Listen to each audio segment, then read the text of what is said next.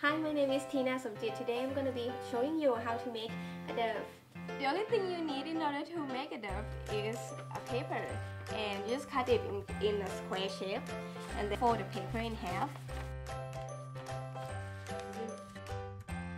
Just like this and then you will fold her to the edge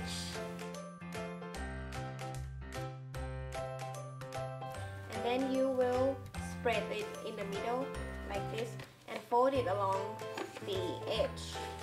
Folding it will look like a kite and then what you have to do is you just fold it up like this and then like this.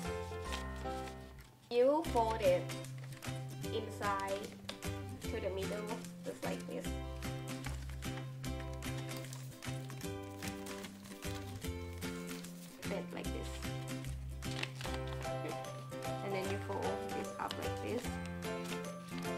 Flip it again